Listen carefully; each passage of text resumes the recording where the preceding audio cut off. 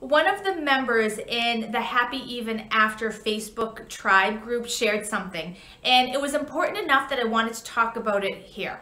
See, her divorce was just finalized. The worst was behind her, and now it was time to heal.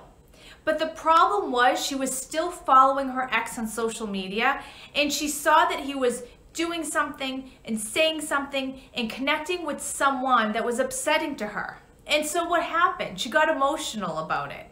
And the consequence was that her healing stopped in its tracks because she couldn't stop watching and digesting and absorbing what was happening on social media. It's only human. We, we look at it when we scroll through.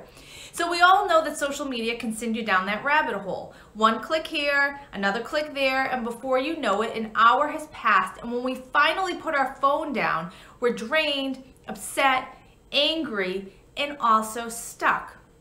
So here's some advice. You don't need to unfriend your ex, but you should mute them. Did you know that you can mute or unfollow someone? So that means that you remain friends, but you don't see their posts. Now take it one step further.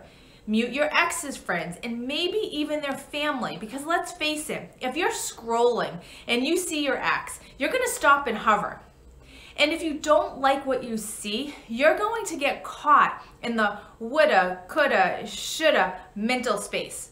So let's just remove the temptation from your life altogether, at least for now while you're still healing.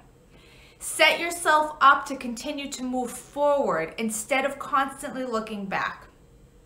Now, if you haven't joined the Happy Even uh, After Tribe yet, I can't say enough about what a warm, supportive space this is. So please join us. The link is in this post.